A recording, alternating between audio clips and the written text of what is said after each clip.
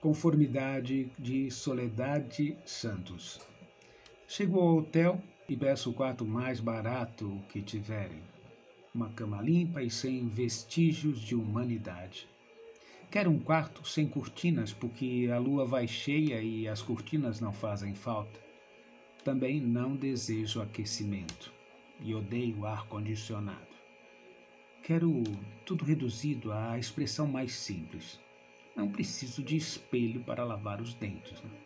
Não quero telefone nem televisão.